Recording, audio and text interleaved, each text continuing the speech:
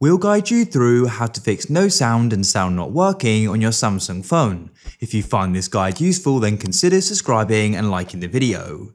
This can be super annoying, so let's get into some fixes. First of all, go and open up your settings. At the top of your settings, click on connections. And what you then want to do is go into Bluetooth. Now make sure you're not connected to a Bluetooth device where your, your phone may be trying to output the sound. I just go and turn off Bluetooth just to ensure this isn't the case.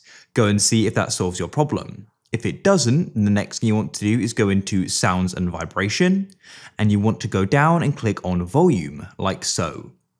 And what you want to do is make sure media is turned up. If it's turned down like so, then that's why you aren't hearing anything. So go and turn it up. And you can also switch on use volume buttons to media as well. If you aren't hearing sound for notifications and things like that, you can adjust that setting at the top, make sure sound is selected. If that still hasn't solved your problem, then it's definitely worth restarting your phone.